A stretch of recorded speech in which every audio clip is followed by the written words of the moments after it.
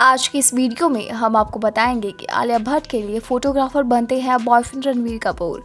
Actress ने खास तस्वीरों के साथ खोला राज। वीडियो शुरू करने से पहले हमारे चैनल को सब्सक्राइब ज़रूर कर लें। आलिया भट्ट और रणबीर कपूर की सगाई और शादी की खबरें कई बार सामने आ चुकी है। दोनों साथ में कई बार स्पॉट भी हुए हैं, लेकिन आज तक दोनों ने अपने प्यार के रिश्ते को खुलम खुला स्वीकार नहीं किया है। दोनों हाल ही में काम से ब्रेक लेकर न्यू ईयर सेलिब्रेट करने के लिए मुंबई से दूर अफ्रीका पहुँचे थे, जहाँ दोनों ने जमकर मस्ती की और क्वालिटी टाइम साथ में बिताया। आलिया ने आज पहली बार अपने बॉयफ्रेंड का ज़िक्र करते हुए खास तस्वीरों के साथ एक राज खोला है।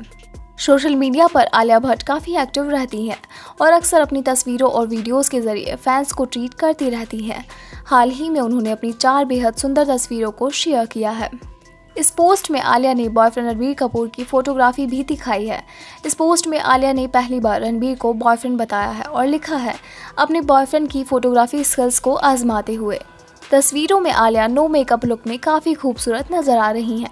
फैंस उनकी तस्वीरों को खासा पसंद कर रहे हैं। ये पहला मौका है जब आलिया ने सोशल मीडिया पर खुलेआम रणवीर को इस तरह बॉयफ्रेंड कहा है। आलिया ने रणबीर कपूर द्वारा खींची अपनी तस्वीरों को शेयर किया। तो होने वाली सासू माँ नीतू ने भी इन तस्वीरों पर अपना रिएक्शन दिया। नीतू ने पोस्ट के कमेंट सेक्शन में हार्ट और आई हार्ट इमोजी शेयर की है। आलिया भट्ट और रणबीर कपूर का रिश्ता किसी से छुपा नहीं है। दिवाली पर भी रणबीर कपूर के साथ आलिया भट्ट ने शानदार तस्वीरें शेयर कर अपने स्ट्रॉन्ग बॉन्ड के बारे में ज़ाहिर किया था। रणबीर कपूर और आलिया भट्ट पहली बार अयान मुखर्जी के फ़िल्म ब्रह्मास्त्र में साथ नज़र आने वाले हैं। इस फ़िल्म में रणबीर कपूर और आलिया भट्ट के अलावा अमिताभ बच्चन और मौनी रॉय समेत कई स्टार्स नज़र आने वाले हैं। सो गाइज़ आपको रणबीर कपूर और आलिया भट्ट की जोड़ी कैसी लगती है? हमें कमेंट्स में बताना ना भूलिएगा।